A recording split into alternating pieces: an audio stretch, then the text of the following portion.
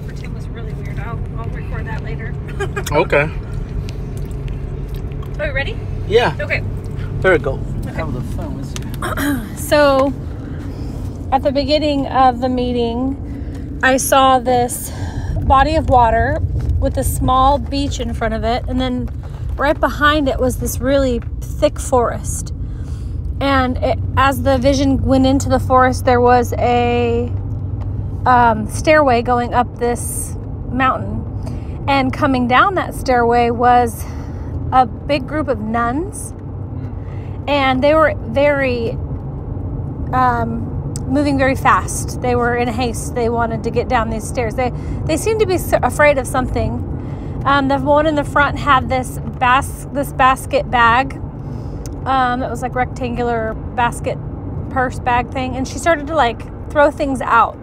It reminded me of like when you have drugs or something and you're trying to get rid of them before the cops catch you. But she just was contraband. yeah, yeah, yeah, exactly. So she was try- she was throwing out all this this contraband, like religious contraband actually. And when she got to this one item, instead of throwing it out, she actually pulled it out. It was like it was like a like a scepter type thing, and at the top of it, it had some items, um, which I didn't see until she passed it. But she she she passed it up, so she passed it from from woman to woman to woman until it was at the very top. And that last woman, she she began to when she had that item, she began to kind of puff up and become proud. And she, the best way that I can describe what was on top of that item was um, in a lot of Catholic books or pictures. When you see Jesus or you see Mary, there's like this light above their heads. Um, it's like a crown of glory. Yeah.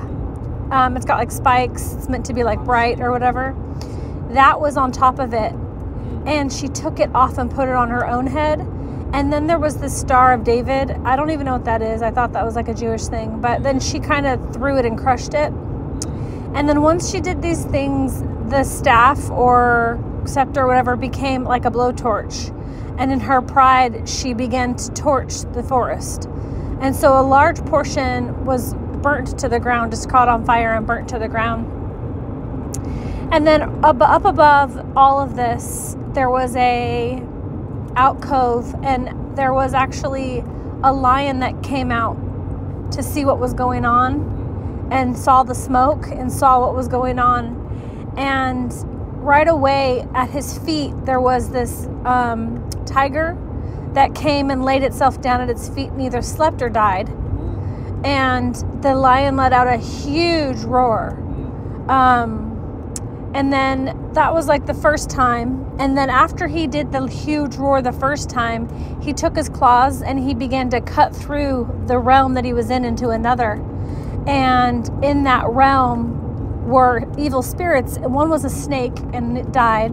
And then you could see past that there were other things that were evil in this evil realm. And so after it cut through into this realm and killed the snake and killed, I guess, other things or exposed. The word was exposed. He exposed this darkness. Um, he let out another roar, and this roar came with a wind. And this wind turned into this like angel woman who carried a. It reminded me of what you use to guard like a watering can. And she took it to the water, mm. and then she went and put out this fire that had caught from this lady. And then after the fire was put out, it was all barren and black. But then the wind, either an, a continual wind from the lion, it was a breath. Mm. With the breath of the lion is what was able to do this, and it restored this um, forest to its original state, which was full and like lavishing. And that was the vision.